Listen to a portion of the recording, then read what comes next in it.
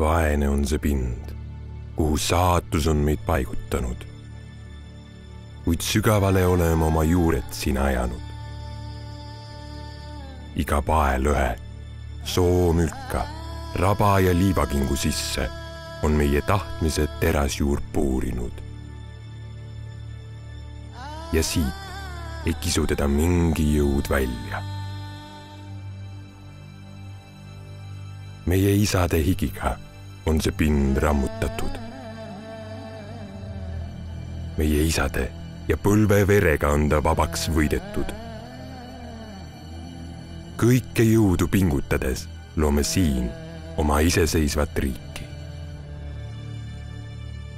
täis rõõmu, julgust, tahtejõudu ja uhkust oma maa ja rahva vastu teeme seda tööd adraga ja kui vaja siis ka mõõgaga.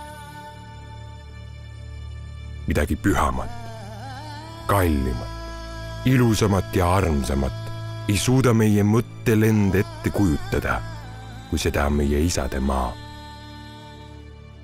siin tõsise mere kallastel.